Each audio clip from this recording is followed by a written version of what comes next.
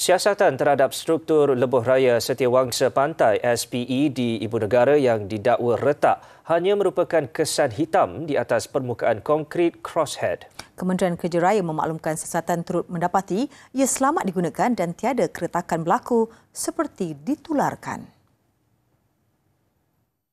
Dalam pada itu, syarikat konsesi lebuh raya berkenaan menerusi syarikat perunding diarah memasang alat pengesan keretakan sebagai langkah memastikan struktur lebuh raya itu bebas daripada masalah keretakan.